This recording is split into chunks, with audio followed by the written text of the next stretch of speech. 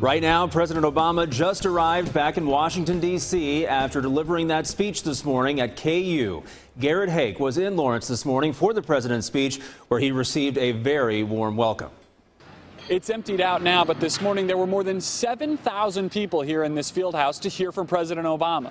Most of those who showed up were students, fired up to hear about the president's economic proposals, and they let him hear it. The loudest applause line of the day came when President Obama called on Congress to pass a law requiring employers to pay women the same as men for doing the same job.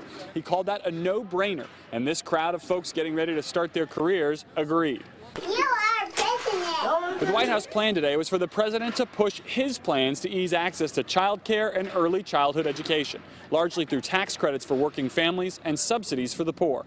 He said it was time we stopped thinking about child care as just a women's issue. It is time that we stop treating child care as a side issue or a quote unquote women's issue. This is a family issue. This is a national economic priority for all of us. We can do better than we're doing right now.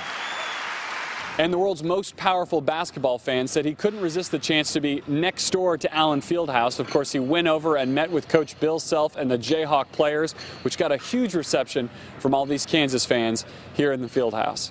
Reporting for the Now KC, I'm Garrett Haake.